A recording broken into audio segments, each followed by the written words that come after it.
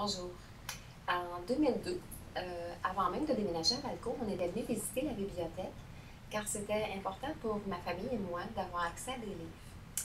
Euh, euh, on a été impressionnés par la quantité, mais aussi par la variété des documents qu'on pouvait retrouver. J'ai été sous le charme, si bien que j'ai envoyé mon CV pour y travailler. J'étais à ce moment-là bénévole à la bibliothèque municipale où je restais depuis 9 ans et euh, je rêvais d'un travail comme celui-là. Eh bien, mon rêve s'est réalisé car j'ai été engagée et j'y suis depuis 14 ans. Et c'est toujours le même plaisir que j'ai à vous servir et à vous conseiller. À très bientôt.